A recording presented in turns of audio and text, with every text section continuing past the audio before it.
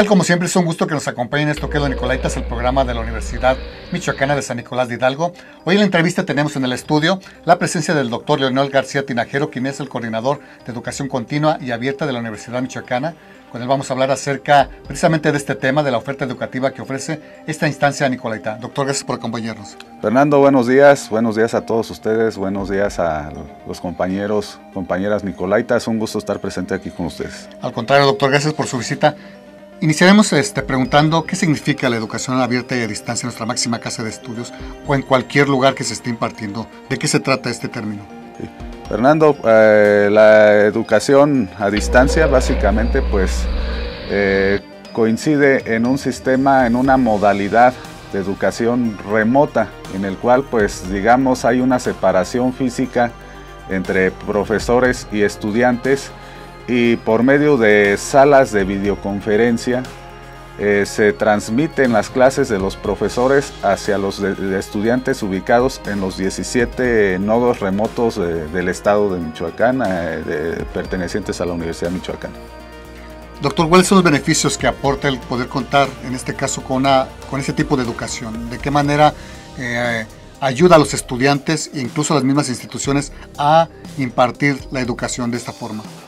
Sí, eh, eh, Fernando, eh, la ventaja que ofrece esta modalidad de educación a, distancia es que los estudiantes, los beneficiarios, los, los, interesados no tienen que trasladarse a la ciudad de Morelia a realizar sus estudios de licenciatura y situación que les permite desarrollar sus estudios sin ningún coste mayor, ¿no? O sea, el hecho de trasladarse a la ciudad capital del estado muchas veces significa pues erogar una cantidad de recursos pues para pasaje, hospedaje, este, entre otros servicios y la gran ventaja aquí es que pueden realizar sus estudios en sus lugares de origen y obviamente una vez eh, terminados estos estudios incluso los municipios donde se encuentran ubicados estos 17 nodos se vean beneficiados por esta modalidad que ofrece la Universidad Michoacana.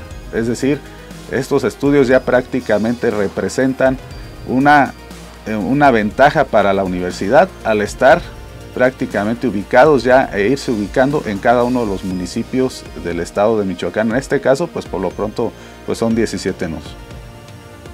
Doctor, académicamente, ¿qué se requiere para que se puedan llevar a cabo este tipo de educación a distancia y abierta?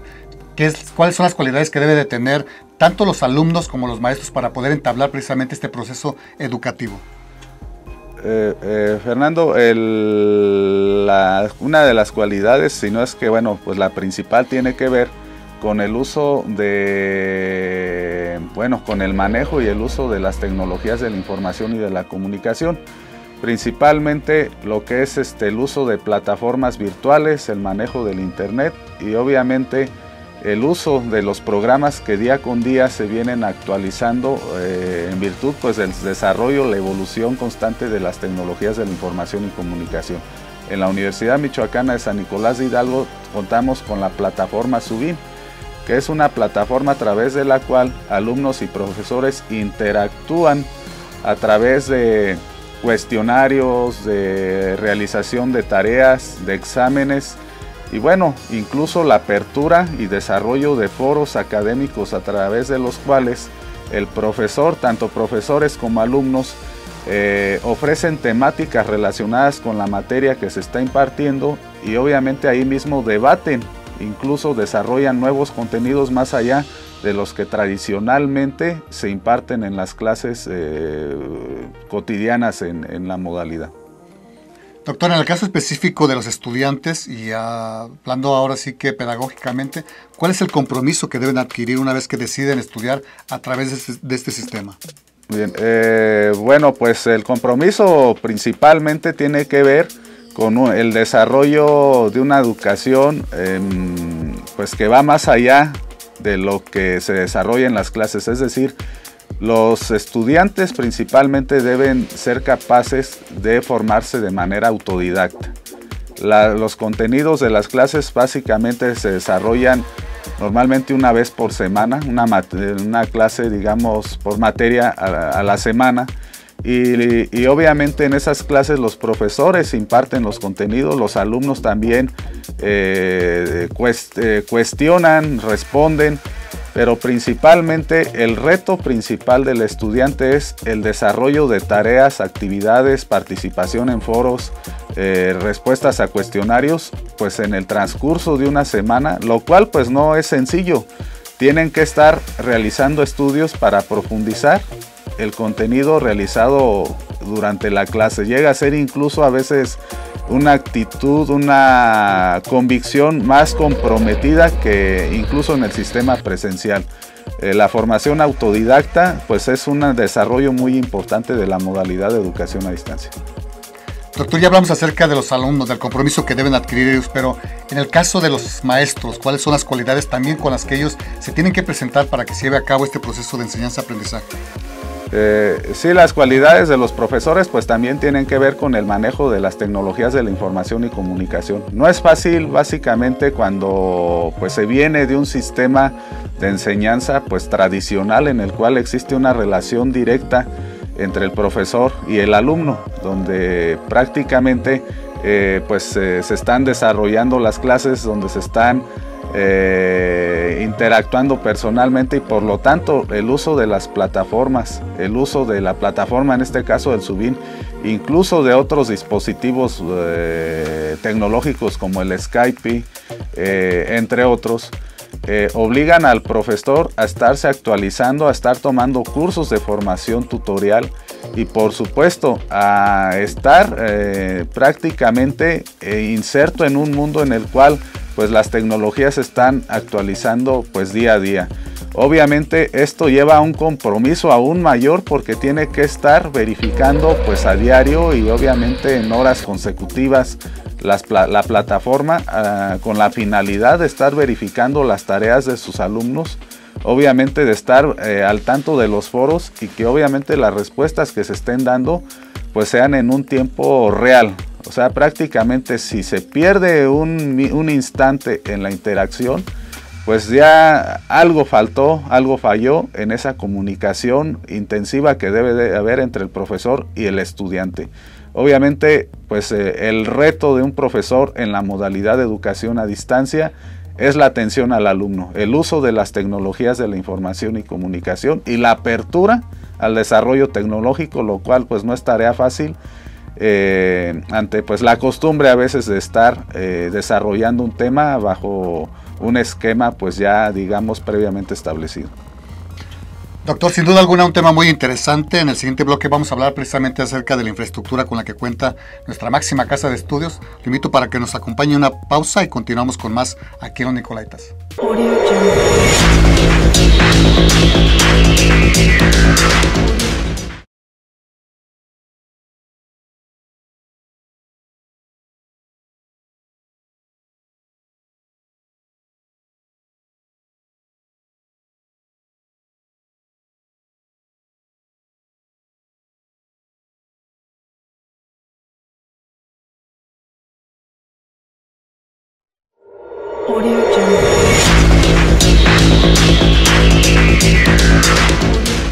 Gracias por continuar con nosotros aquí en su programa Los Nicolaitas, el programa que produce para todos ustedes la Universidad Michoacana de San Nicolás de Hidalgo.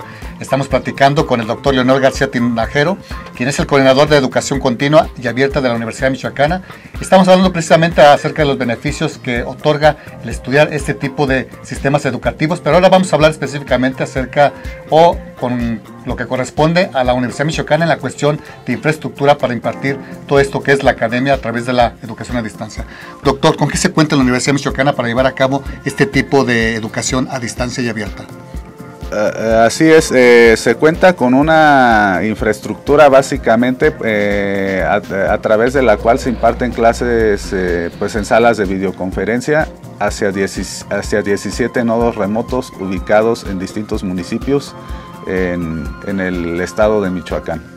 Eh, actualmente la coordinación de educación a distancia cuenta con un total de 5 salas de videoconferencia y 17 nodos remotos.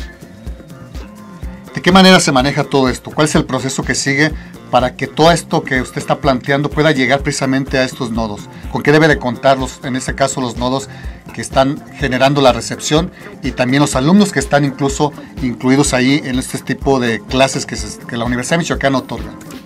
Sí, eh, se cuentan básicamente con eh, lo que es, eh, les adelantaba, pues salas de videoconferencia.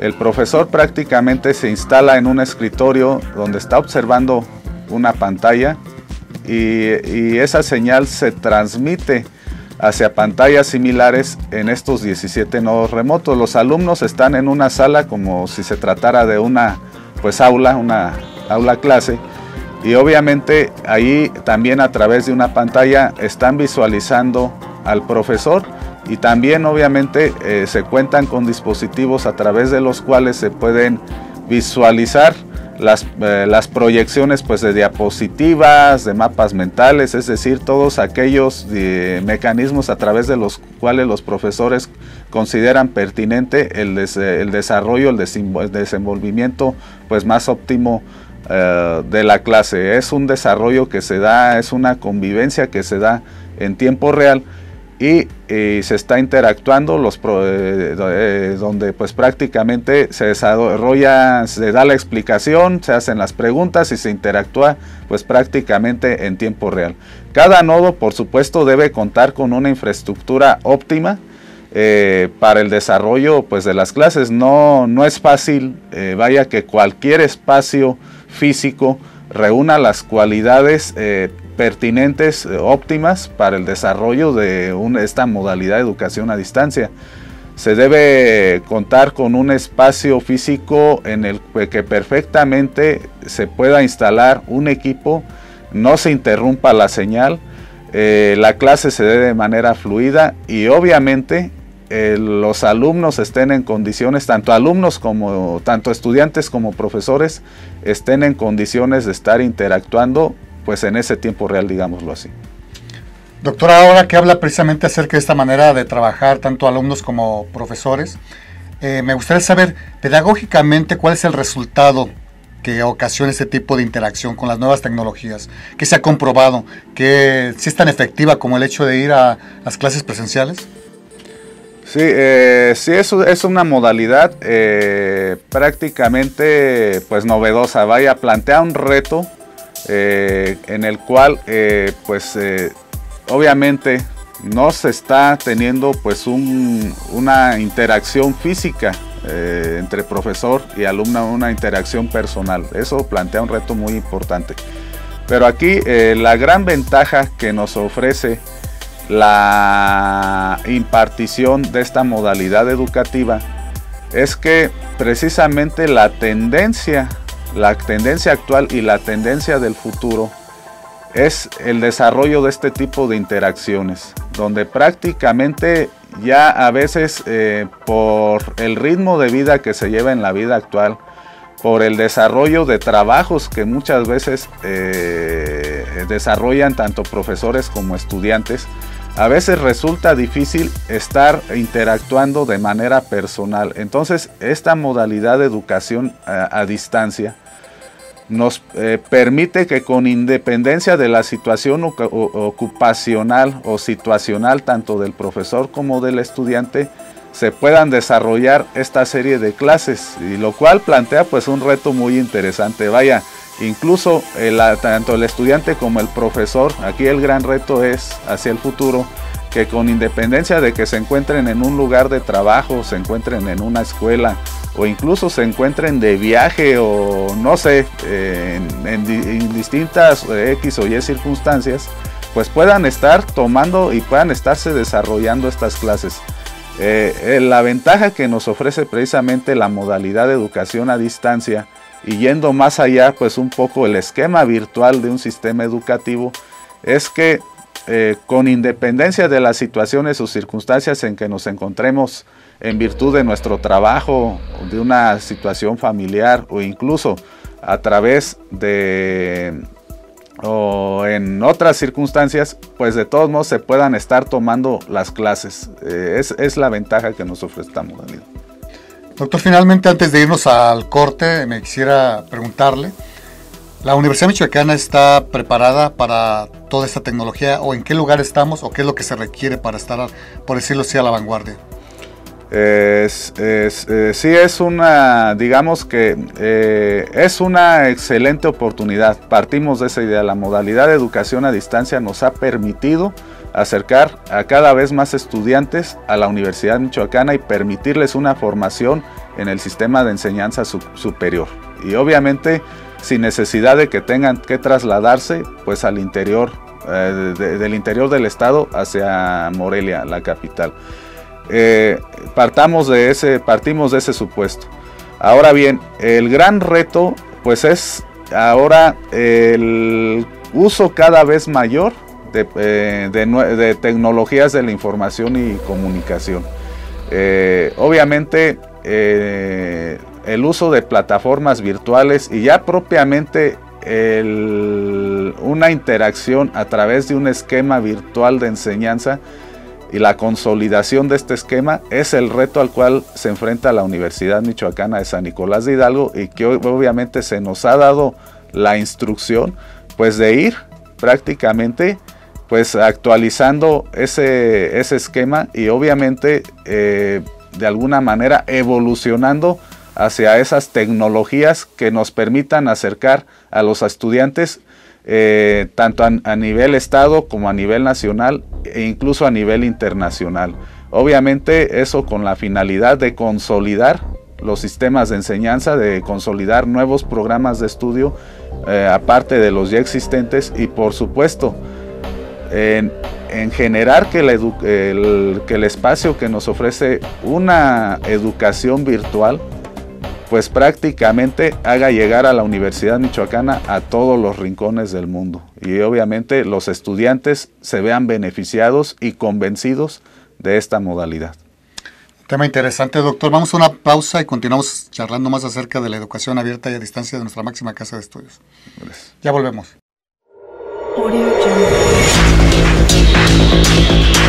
Yeah.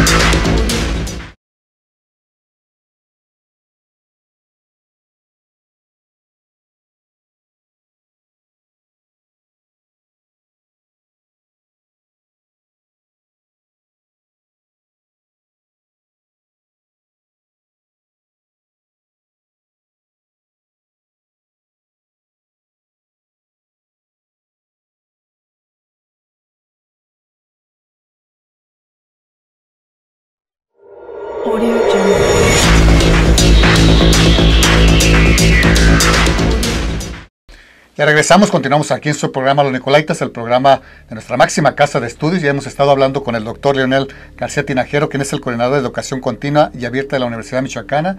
En esta parte final de Los Nicolaitas vamos a hablar precisamente acerca de la oferta educativa con que cuenta nuestra máxima casa de estudios, porque es muy interesante saber qué es lo que está dando a conocer precisamente en este tiempo la convocatoria ya de nuestra universidad para que se den a la tarea de investigar y saber cuál es la lección que ustedes prefieren para estudiar en esta modalidad.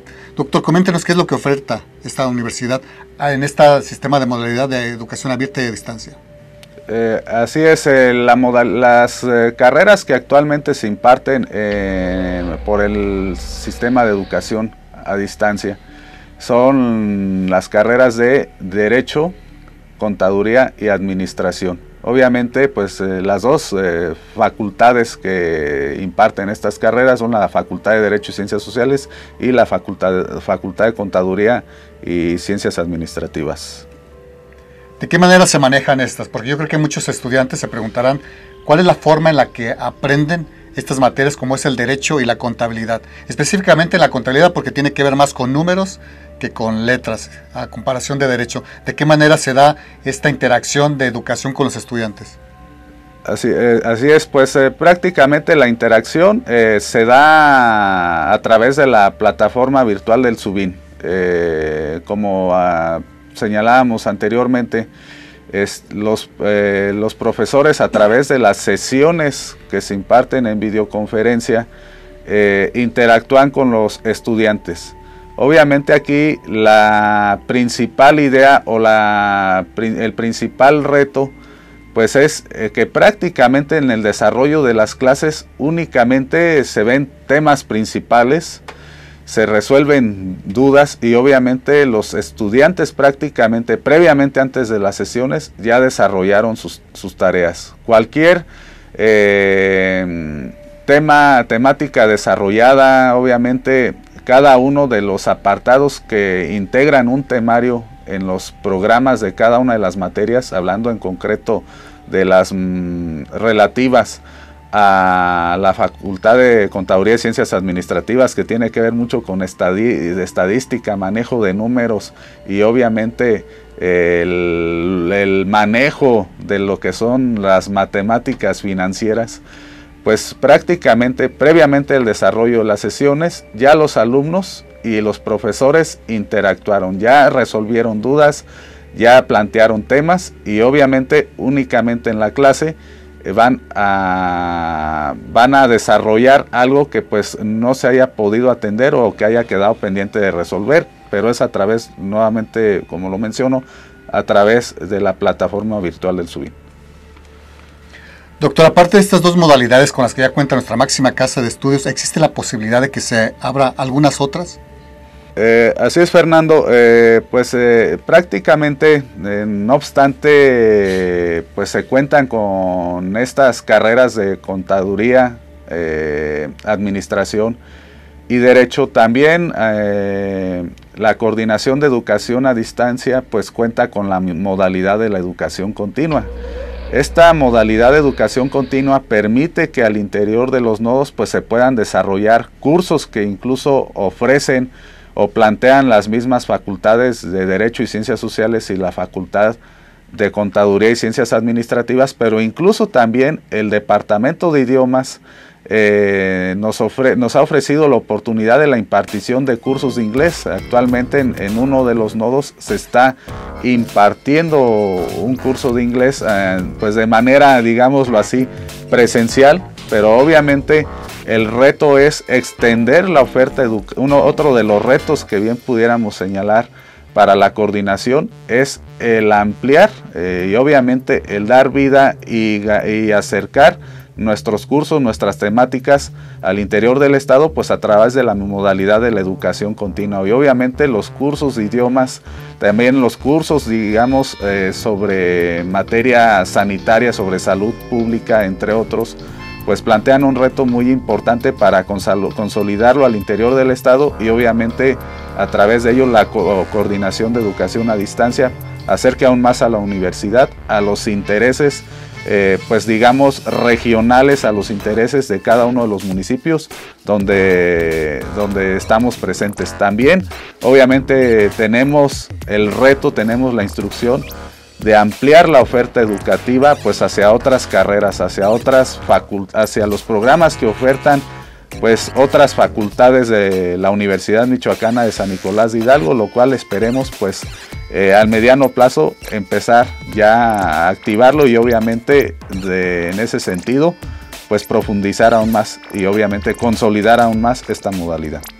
Bueno, pues ahí están todos los datos que se requieren, la información para poder acceder a estas modalidades que ofrece nuestra máxima casa de estudios. Doctor, muchísimas gracias por acompañarnos aquí en los Nicolaitas e informarnos acerca de estas carreras, de esta manera de acceder a las profesiones que, oferta, que oferta nuestra máxima casa de estudios, las licenciaturas que tienen la misma validez con las que cuentan las eh, carreras presenciales. Muchas gracias por acompañarnos. De esta manera llegamos al final de los Nicolaitas. Esperamos verlos las próximas semanas. Hasta pronto.